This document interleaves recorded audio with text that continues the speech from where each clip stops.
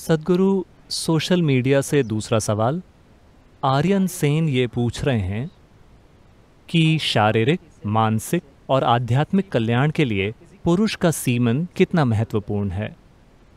क्या अपने सीमन को बर्बाद करना हमें आध्यात्मिक रूप से नुकसान पहुँचा सकता है?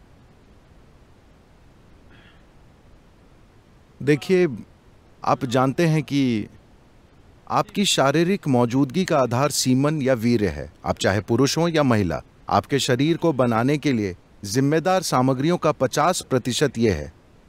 है ना?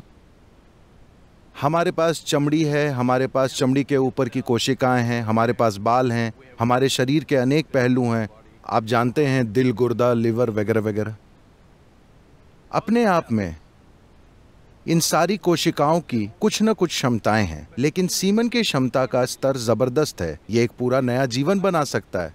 आज आप त्वचा की एक ऊपरी कोशिका को लेकर प्रयोगशाला में बहुत कुछ कर सकते हैं और शायद हम आपका क्लोन भी बना दें। तो क्षमता यहाँ भी है लेकिन इसका स्तर उन कोशिकाओं के स्तर जैसा नहीं है जिन्हें आप सीमन या वीर कह रहे हैं। So in the yogic culture, this is called as virya. तो योग संस्कृति में हम इसे वीर्य कहते हैं। वीर्य को हम वज्र भी कहते हैं, जिसका अर्थ है स्थिरता या हीरा, जो सबसे कठोर चीज़ है।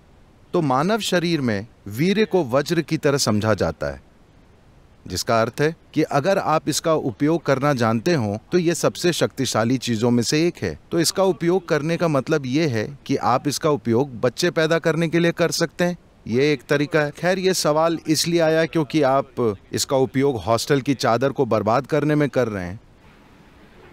ठीक है? अगर आप इसका इस तरह से उपयोग कर रहे हैं तो आप मजबूर हैं आप जो कर रहे हैं वो कर रहे हैं।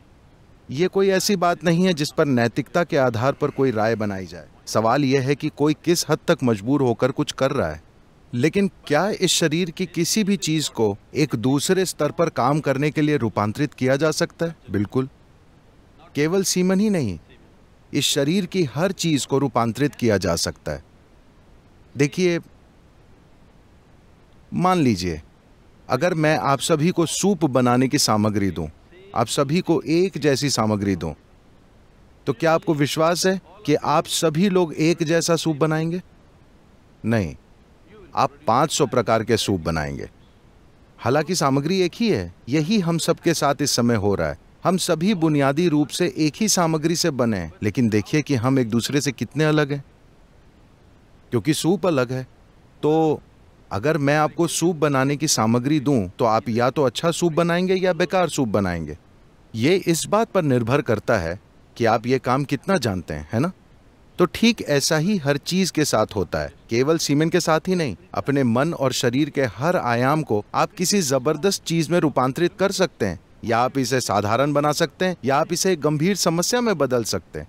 जीवन के हर पहलू को, ऐसा ही जीवन के इस पहलू के साथ भी होता है।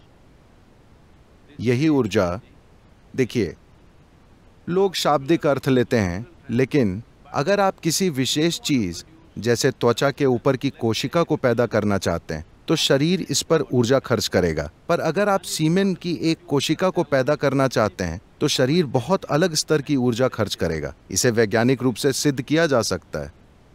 तो जब आप इसमें इतनी सारी ऊर्जा खर्च कर रहे हैं तो स्वाभाविक है कि इसमें एक क्षमता है।